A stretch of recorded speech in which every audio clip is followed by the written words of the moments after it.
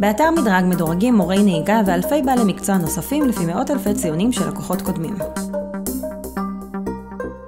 שלום, אני אורן, מורה נהיגה, והיום נדבר על שמירת רווח. מה זה בעצם שמירת רווח, למה זה חשוב ואיך אני עושה את זה. אז נתחיל קודם כל משמירת רווח מלפנים. למה חשוב בעצם לשמור על רווח מהרכב שנוסע לפניי?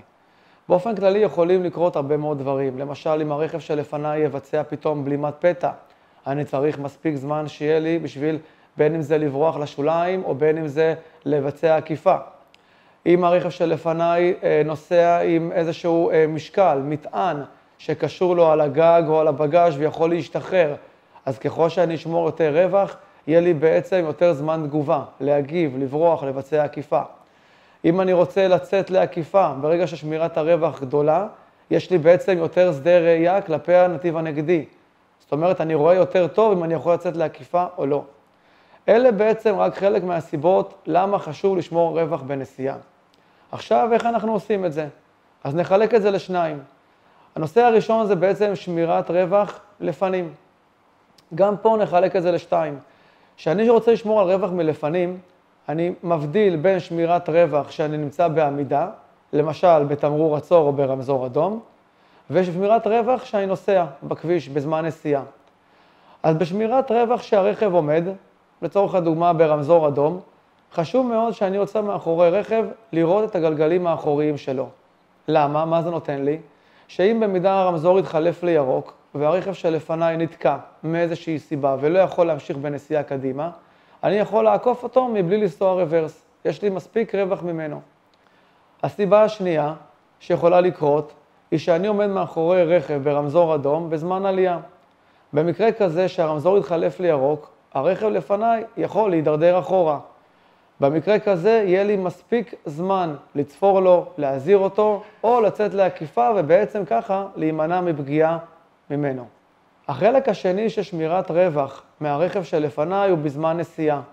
כולנו מכירים ושמענו על נושא של שיטת שתי השניות. השאלה בעצם איך אני מיישם אותה. אז ככה, כשרכב נוסע לפניי, אני בוחר איזשהו עצם, עצם דומם שנמצא על הכביש, לצורך העניין תמרור או עץ. ברגע שהרכב שלפניי עבר את אותו עץ שבחרתי, אני אומר בלב 21, 22. אם סיימתי להגיד 22 ועוד לא הגעתי לאותו עץ, זה אומר שאני שומר על רווח של שתי שניות ומעלה, שזה הרווח הרצוי והאידיאלי לנסיעה. אם לא הספקתי להגיד 22 וכבר הגעתי לעץ ועברתי אותו, זה אומר שאני שומר רווח של שנייה אחת או פחות. חשוב מאוד לטיפה להאט את מהירות הנסיעה ולהגדיל את מרחק שמירת הרווח מהרכב שנוסע לפניי. למה בעצם אומרים 21, 22 ולא רק 1, 2? בשביל שעד שאני אגיד לעצמי 21, המילה בעצם, המשפט יהיה יותר ארוך, ואז בעצם תעבור שנייה אחת שלמה. הנושא השני הוא שמירת רווח צד. בנושא של שמירת רווח צד, גם כן צריך להבדיל בשני מקרים. המקרה הראשון הוא בכביש חד-סטרי. זאת אומרת, אם אני נוסע בכביש חד-סטרי, שיש לי מכוניות חונות משני צידי הכביש, אני רוצה לדעת איך אני נוסע במרכז הנתיב שלי, שאני לא בטעות אסטה לימין או לשמאל ועשוי לפגוע באחד הרכבים שחונה בצד ימין או בצד שמאל. אז יש כמה דברים שיכולים לעזור לי. הדבר הראשון נקרא סימני צמיגים. זאת אומרת, אם נסתכל טוב על הכביש, אנחנו נצליח לזהות סימני צמיגים. זה כמו שני פסים ארוכים, כמו שני שבילים ארוכים, שנמצאים לאורך הכביש ובעצם נעשים עם הזמן, עם השנים, על ידי מכוניות שנסעו בכביש הזה.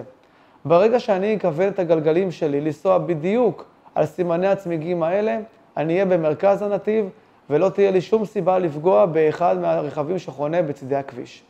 הסימן השני שיכול לעזור לי הוא בעצם פסי האטה. על גבי פסי האטה מצוירים לנו משולשים. זאת אומרת, אם אני אכוון את מרכז הרכב לכיוון של השפיץ של המשולש, שמצויר על פסי האטה, אני שוב אהיה במרכז הנתיב שלי ולא אצטה לימין או לשמאל. הסימן השלישי שיכול לעזור לי הוא החצים שמצוירים על הכביש. זאת אומרת, אם אני נוסע בכביש ומצויר לי חץ על הכביש, אני צריך פשוט לכוון את מרכז הרכב שיעבור מעל החץ, בדיוק באמצע, ואז שוב אני אהיה במרכז הנתיב ולא יסטה לימין או לשמאל. חשוב רק לציין שהנהג חייב לשים לב שהמכוניות שחונות בצידי הכביש חונות בשורה אחת ואף אחד לא סוטה. זאת אומרת, מספיק שיש לי רכב אחד שחנה בצורה עקומה או בולטת משאר הרכבים, בנקודה הזאת אנחנו נצטרך לבצע תיקון קטן לימין או לשמאל בהתאמה, ו- ורק אז להמשיך לנסוע על הסימונים שדיברנו מקודם. החלק השני הוא שמירת רווח צד בכביש דו-סטרי. בחלק הזה השמירת רווח צד נעשית קצת יותר בעייתית. למה? כי יש רכבים שמגיעים מהנתיב הנגדי, ואוטומטית גורמים לנו לקחת את ההגה לימין. ואז בעצם יכול להיווצר מצב שאני פוגע ברכב חונה, כי אני יותר מתרכז ויותר מפחד מהרכב שמגיע מולי. אז איך אני בעצם שומר על מרכז הנתיב במקרה הזה? באופן כללי, כמו שציינו בכביש חד-סטרי, אבל אם רכב גדול למשל מגיע, כמו אוטובוס או משאית, ואני ממש מפחד לסטות ולפגוע בו, אני יכול לקחת עוד סימן, וזה בעצם הקבקוב.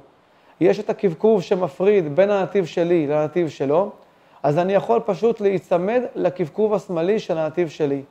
ברגע שאני אסע צמוד לקבקוב של הנתיב שלי, לקבקוב השמאלי, אין שום סיבה שאני אפגע ברכב הבא מולי. כמובן שאני חייב לעקוב אחרי הגלגלים של הרכב הבא מולי ולוודא שהוא לא עובר את הקבקוב לכיוון אליי.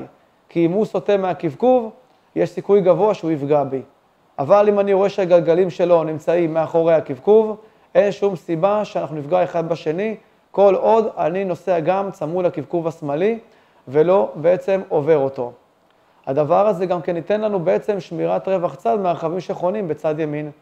זאת אומרת, גם אם רכב עכשיו בצד ימין חונה, יפתח את הדלת, לא יפגע בי כי יש לי שמירת רווח צד מספיקה ממנו, כי אני נוסע צמוד לקבקוב השמאלי. באתר מדרג מדורגים מורי נהיגה ואלפי בעלי מקצוע נוספים לפי מאות אלפי ציונים של לקוחות קודמים.